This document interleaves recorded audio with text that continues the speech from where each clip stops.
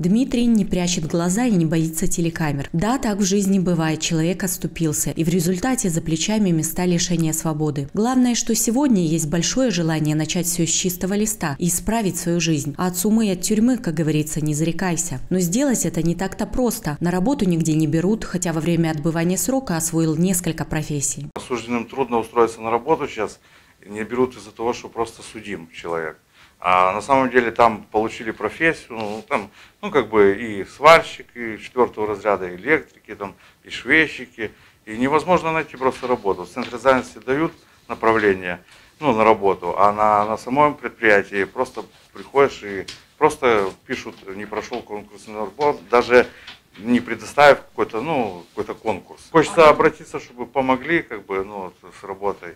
Хочется работать, как бы уже хочется стать на, ну, на путь исправления, не, не лезть в эти, ну, всякие плохие истории. В такой критической ситуации оказываются практически все, кто покинул казенные стены. Обрезка отделения Красного Креста не впервые оказывает посильную помощь людям, попавшим в непростую жизненную ситуацию. Вот и сейчас 50 продуктово-гигиенических комплектов ждут своих хозяев. В одном пакете продукты питания, в другом – гигиенические принадлежности и защитные маски. В данный момент, вот в январе месяце, проходит акция по оказанию помощи лицам и вернувшимся из мест лишения свободы.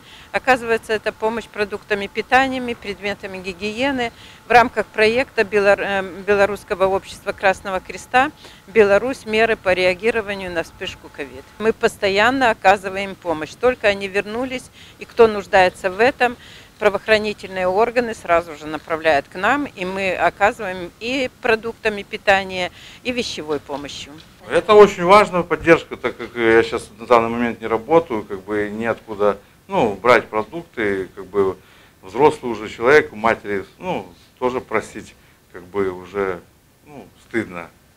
И, конечно, большое спасибо за то, что помогли вот этими хотя бы, ну, принадлежности гигиены там, и продуктами. Спасибо большое. Конечно, разовая поддержка не решит всех проблем, однако человек поймет, что его судьба не безразлична. И кто знает, может именно эта небольшая помощь удержит кого-то от больших необдуманных поступков.